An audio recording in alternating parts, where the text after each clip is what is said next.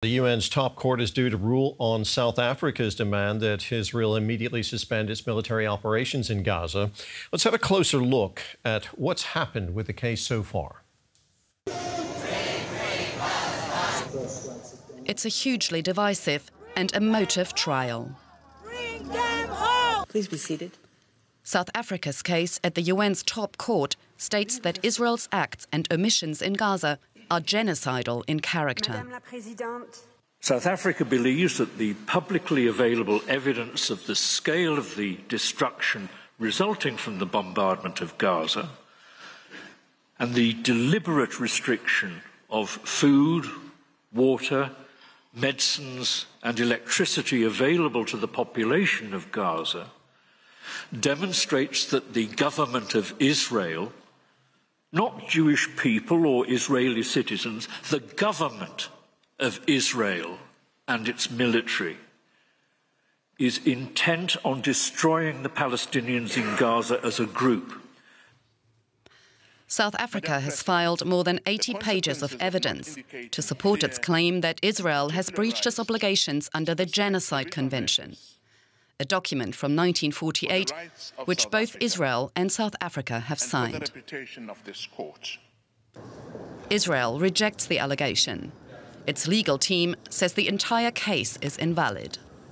The simple reality is that the events which are the subject of these proceedings are occurring in the framework of a war instigated by Hamas, governed by the legal framework of international humanitarian law they do not fall within the remit of the Genocide Convention.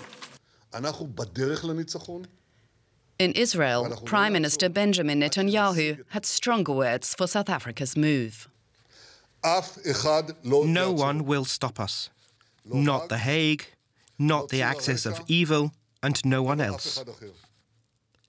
The hypocritical onslaught at The Hague on the Jewish state that arose from the ashes of the Holocaust, at the behest of those who came to commit another Holocaust against the Jews, is a moral low point in the history of nations. The Netanyahu government, its lawyers, and the military say Israel is exercising its right to self defense in response to the Hamas terror attacks on October 7th last year. And that they are doing everything possible to protect civilians in Gaza. But well respected international bodies, including the UN, have cast doubt over whether the huge civilian death toll in Gaza can be justified in the name of self defense.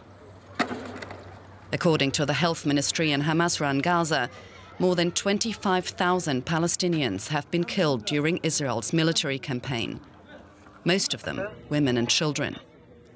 Those who have survived thus far are largely displaced and living in conditions the UN has described as a humanitarian nightmare.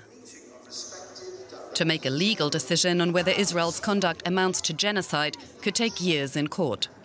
In the meantime, South Africa has asked the judges in The Hague to order an immediate stop to Israel's campaign in Gaza, drawing praise from the Palestinian UN ambassador.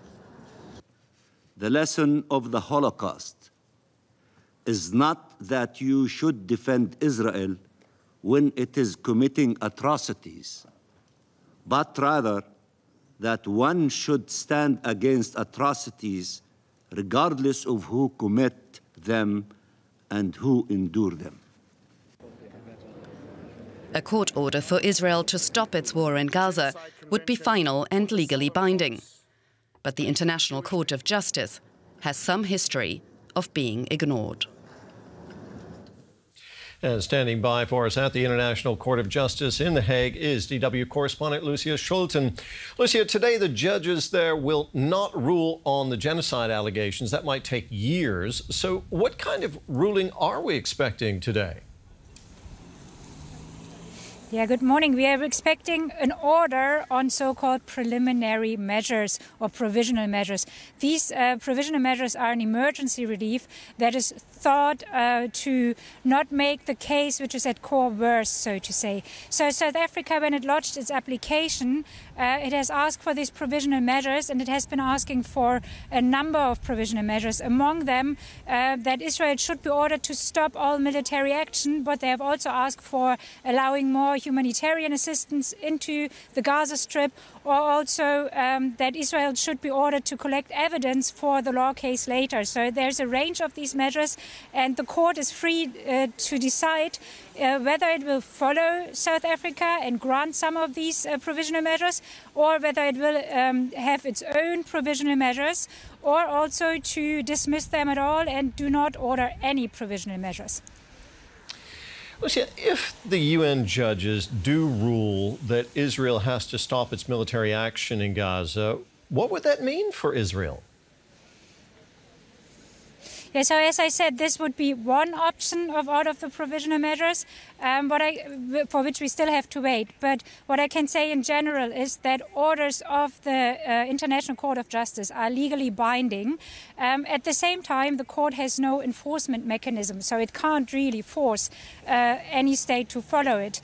Um, nevertheless, what you have to keep in mind this court behind me is the United Nations top world court, so to say. So the international community is watching this case very carefully, which you can also see with a lot of states have come out on the one side or the other, having spoken out uh, that they follow it.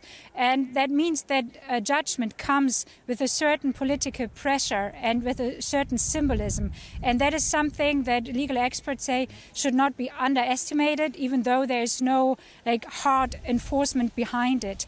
Um, but as I said, we will have to stay a bit tuned whether there are any legal consequences for Israel at this stage and how they look like. Lucia, thank you very much. That was DW's Lucia Schulten in The Hague.